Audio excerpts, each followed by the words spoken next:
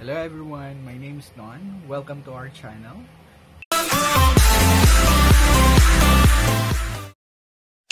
View of the PLDT Unlimited Fiber 1899 plan. It includes one modem and one telephone. Uh, the Wi-Fi modem has four LAN ports. However, only one is usable. The telephone is only a plain landline. It has no caller ID. So the download speed of the Wi-Fi or the fiber is 30 to 35 Mbps, which is good. And the upload speed is around 30 Mbps. So the ping is usually from 2 to 4 and the jitter is around 4.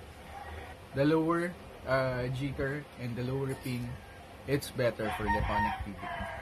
Now for the gaming experience, I tried Mobile Legends, Beginning of Dragon, and Modern Ops, FPS, and Call of Duty. So I can say that I didn't experience any lag. Tried live stream on our channel and it doesn't have any lag at all. So is it a thumbs up or a thumbs down? Um, it's a thumbs up for me. Mainly because sobrang worth it for the price. So the good thing about this one is limited. So it's 30 Mbps, but it's giving around 30 to 35. I also experienced 40 Mbps at some point.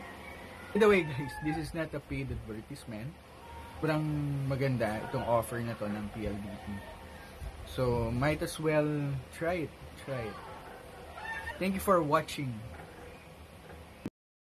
Thank you.